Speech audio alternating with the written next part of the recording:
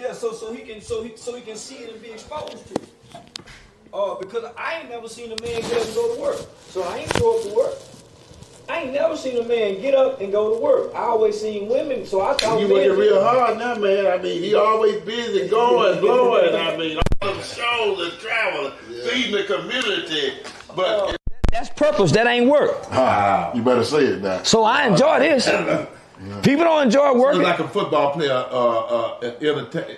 Uh, it's like having fun. It's like it's like it's like it's like waking up when when you really in purpose. Uh, it's like waking up getting ready for the Super Bowl every day. Would you say the same thing about your life, eh? Yeah, it's a it's a movie. Like it's just some of this stuff is just so surreal. You know, it's just sometimes it's, it doesn't even feel real. A lot of the stuff that goes on. So if every young person found their purpose, it, it reduced to you don't have to go do nothing illegal to get money. You don't have to. Uh, you, you don't have to. Do- feel does- about does- abusive? Does everybody find their purpose though in life? Uh-uh. I'm, I'm asking, but, but they can. They can. Of course, I think every human being is anything. They can do anything they want if they put their mind to it and they and they they they really push the energy out there, right? But you know, I, yeah, I, I think that if they The can't, two of y'all have employed yourself, that was a season when somebody else had to employ you to do Yeah. it. all. yeah, exactly. And we employ- Somebody had to employ Oprah Winfrey. and, and we employ other people. So so I, I I've had my I got a friend who drives trucks. I've been able to tell him, man, quit that truck, drive that truck, and come over here. I can pay you way more than what that truck paying you. Uh, and, and so uh, yeah, he quit that truck. Ron, I'm, I'm curious. I want him and Ryan to talk too because I know Ryan is. Yeah, Ryan need him right now. Uh, yeah, Ryan Garcia. Uh, yeah, Ryan Garcia needs He you right needs now. him. especially in this area. I'm, I'm sure he don't. I'm sure he probably go to church, but no, just now he'll be good for Ryan. Since 2006, I have been. He training down here now. Yeah. But Yeah. this whole streaming, again, I, I might have got this in my road. You you follow your purpose, you chase your purpose, and you don't What? chase money. Is Money there- chase. Yeah. I'd say move over real quick. Let Ryan sit right there. Okay. Or you Yeah. can right there. No, Uh, so now, uh, a purpose. Come in here. Uh, man, everything, everything chases the purpose. Hey, The provision, the vision, all that is in the purpose. And I'm gonna walk away. What's up, buddy? What's up, boss? You All right, you good? You Yeah, Ryan? yeah, that's Ryan Garcia, Pastor. Ryan? It's a pastor right here. That's it. You, you, you, you don't watch the sweet science, do you, Pastor? You- Oh, he don't, Pastor, you don't watch boxing? Yeah, watch what now? Boxing? Yeah, that, Oh, he knows David. He knows David de- defeated Goliath. He does know. a, a, a, a champion right here. Man, so do I need to get a picture? Prepping for, for another. you can't box, right? Oh, man, you're fighting David. I'm gonna call you. But you can at least you can get that picture where you had a head in back there. There you go. Well, Pleasure to meet you. tell me a little about yourself, man. I'm, I'm excited to connect Yeah, with you. because I'm right next to you. Yeah. Uh, I mean, You can mic where do I start? Uh, I think I'm a professional fighter. I'm You 20. local. No, I'm. Oh man, I live here now in Dallas. Oh, you do? Yeah. For good? Yeah, for good. All right, yeah. all right. I got out of Cali, but uh, born and raised in Southern California. Come from a small town, Victorville, California. Uh, been professional fighter. I think about I would say since 2016. So I don't know how long that's been. Uh, Is that 24. particular category? Yeah, welterweight. 10%? Yeah, Oh, uh, April 20th, I'll be fighting for the welterweight championship of the world. Uh, like, April 20th. yeah. It's going down. Is that gonna be televised? Yes, it will. Pay per view. I got you now. Barclays, I'm coming. I. Yeah, yeah, yeah. Okay. We got to pop out. Yeah, yeah for sure. Yeah, we got, we Where's the fight gonna be? Barclays Center uh, in Brooklyn. Okay. And who are you fighting? I'm fighting um, Devin Haney. I say Devil Haney, but Okay. so it's, we've been talking about purpose and. Pastor really don't know who these people are. He, he, he, I love he it. not he not I he don't know not who Charleston White. Already. I heard something you that was he watch, he watch football and basketball, but he ain't no boxing Already. Player. How long y'all watch been- but- people do do it. Huh? There was something you guys been about you.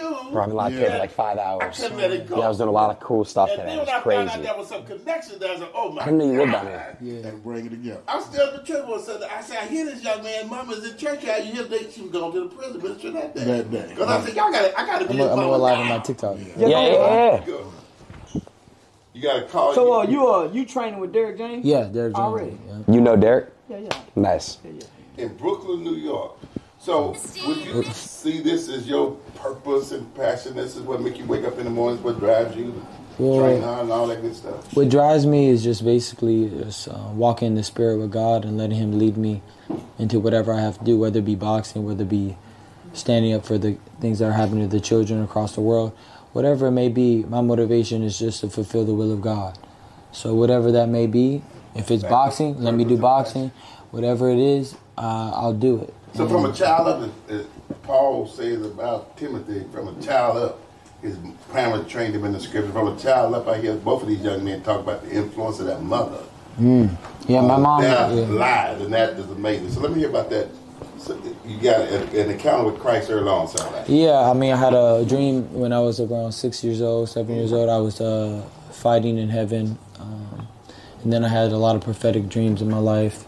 And then I had some like sense of that something was pushing me everywhere. And every time I listened to that feeling when I was a kid, I progressed in life. So I knew something was calling me. Then I came to find out it was God.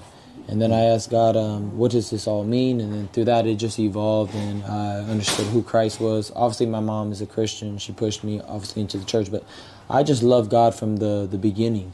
It was never hard for me to love God, and then, like I said, I had a lot of prophetic moments in my life. I had a lot of supernatural experiences with God that uh, I can no longer deny, and um, I've been anointed by God, and uh, that's it. And now I'm just moving in that everywhere I go. I don't care about anything.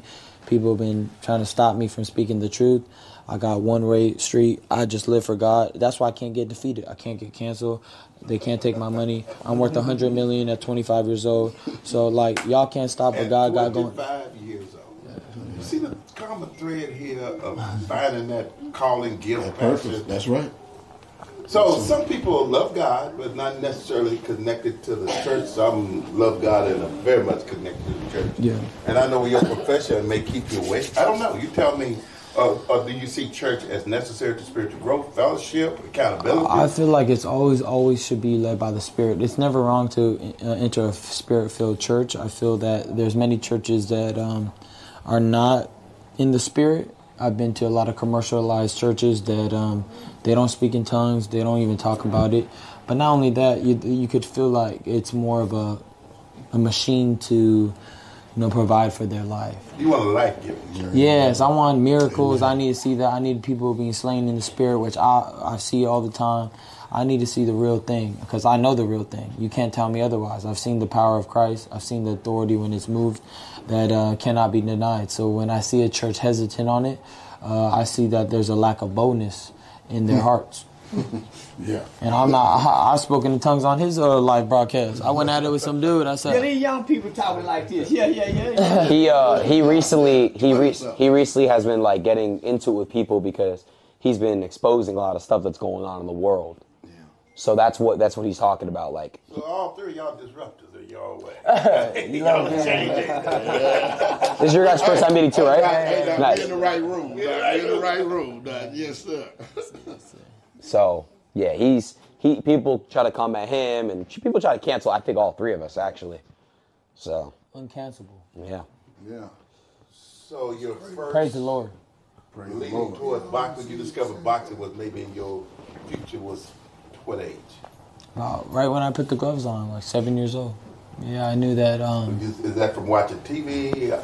I just wanted a sport that was one on one. I hated playing with um, with the team because you know I just felt as a young kid they didn't push as hard as I did. So I asked my uncle, "Is there a sport one on one?" He showed me boxing. I say, "Say less."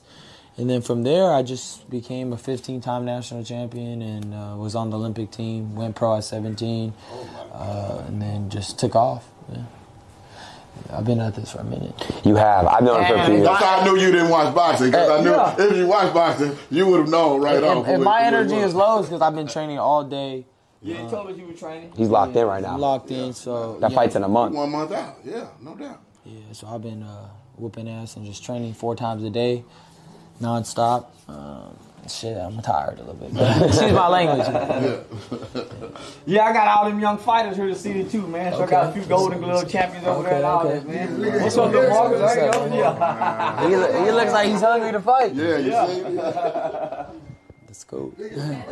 oh, he look hungry too. Yeah, all them, all them fight. Even little girl, man, all that's a family Okay. fighter. That's Oh, a nice. father that trains all his sons. He homeschool them. A very respectable young man. Reminds me of when I was coming up. I just saw a video of you and your brother, and somebody was interviewing you. I think you were at like some high school. You had a beanie on. You know what video I'm talking about?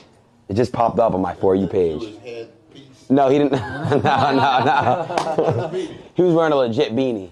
He was? Oh Yeah. yeah, oh yeah, yeah. You know what I'm talking ago. about? Yeah, yeah, yeah. Yeah, yeah. Oh, okay. Really long time ago. Put on when your head get cold. Yeah, yeah, yeah. A beanie, not a not a Jewish But hat. the, but the fitted hat. Where's your- where's that? I'm not wearing it today. I got you. He said I'm not I wearing. got you. I got you.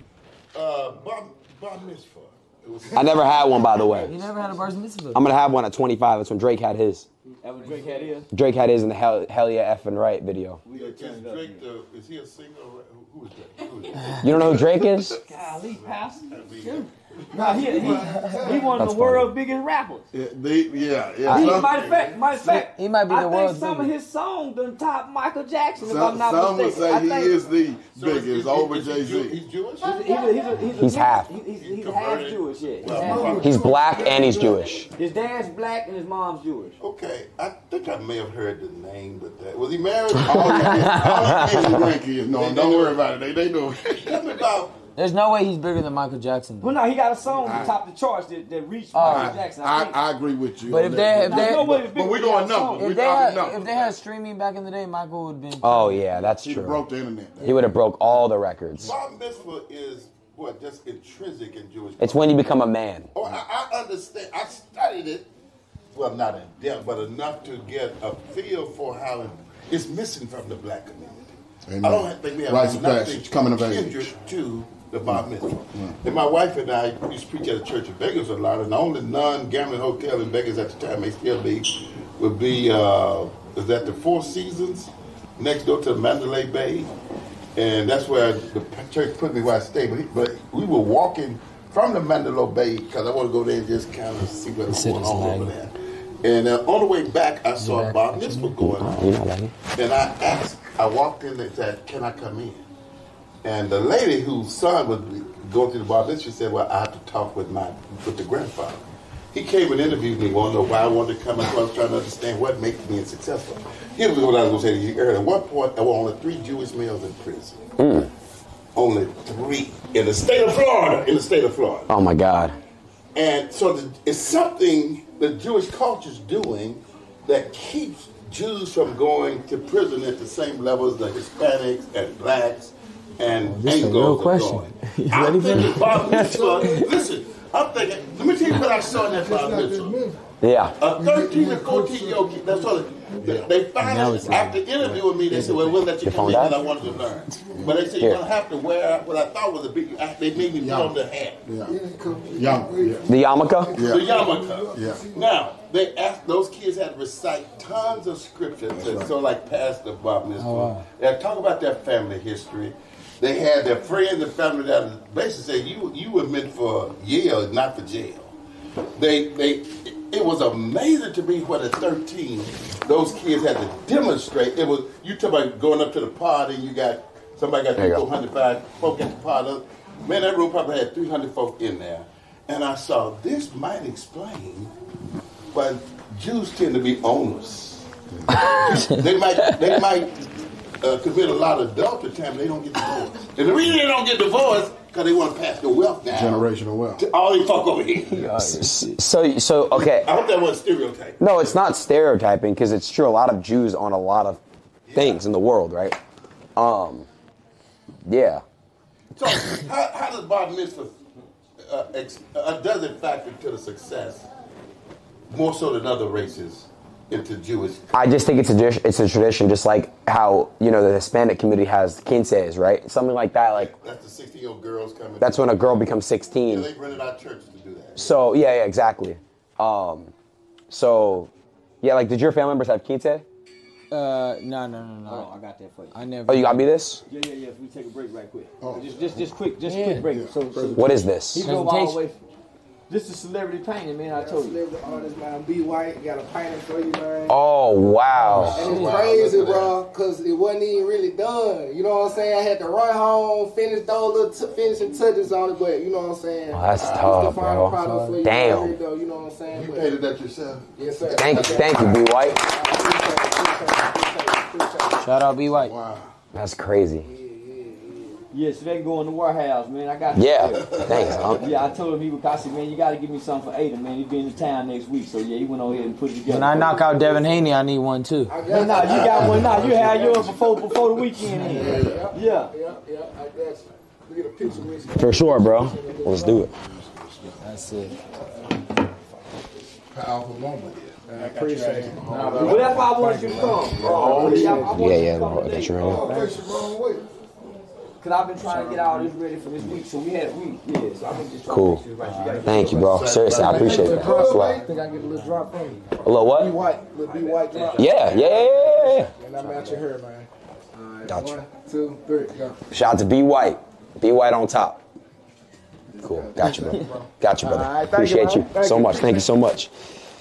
I appreciate you, fam. Thanks, Charleston. You got a you got a card to work now? So, so you take a break right quick. Yeah, so we, I said you three go on the sprinter and go talk. Me, Ryan, and Charleston. All right, come on, let's go out there. All right, let's do it. Hey, you mind if I get that bag so I can bring it? Part in. Oh, Tav. It's awesome, brother. Thank you. Let me get a picture of the three. please. Oh yeah. All right, bet. That's a Y'all, want- y'all get the take a picture right quick. Hmm? Hold on for you. In ah, she don't in there, Ryan. No, no, I'm gonna come back. I'm gonna come back. Get a picture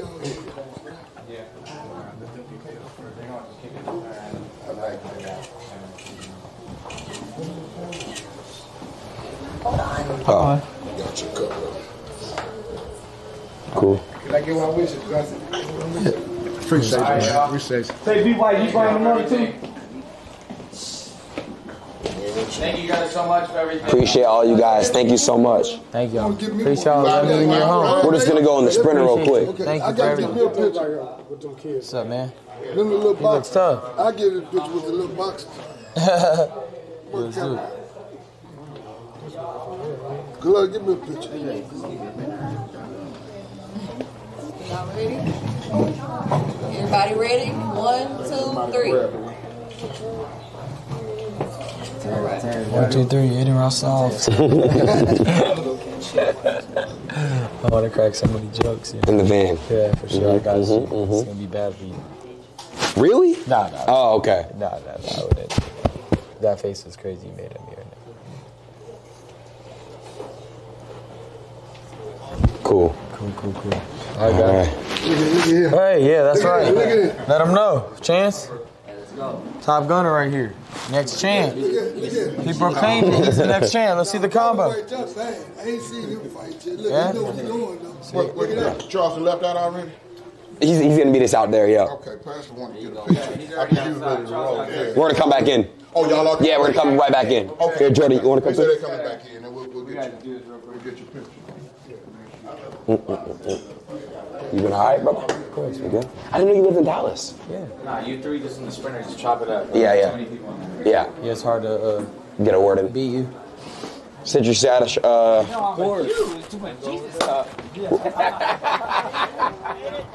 yeah, I'm, I'm going in here real quick. I'm gonna go in here real quick. I'm saying I'm gonna come outside. I'm, I'm, I'm just gonna go in here real quick. I'm gonna come outside. Oh, yeah, some snacks? I don't know. Here, uh, Ryan, you sit right here. Yeah, you sit right here next to Adin, right? yeah, for sure. Chop it up. I need some chips. You want Charleston right here? Yeah. All right. Well, you guys got the snacks. I'm not even having it right now. I've been on that. You guys just talk. Okay, cool. Yeah, I'm finna pick your brain, Ryan. You really think you can beat Devin? For sure. I, yeah. 100%. I fought him six times already. Oh, real? Yeah. I beat him three times. But you guys have fought before? I didn't know that. In the amateurs. I'm betting my money on Ryan because you know I bet money on these on these events. Yeah. Chat, who y'all got? Who y'all got? Ryan or uh, Haney? I'm going with Haney. I don't know what You know why? I'm hey. I'm betting on Jesus. Nah, chat saying Ryan. I'm betting on Jesus. 50-50 right Yeah, now. I'm betting on the Jesus loving kid compared Nah, to chat. Ryan, Ryan.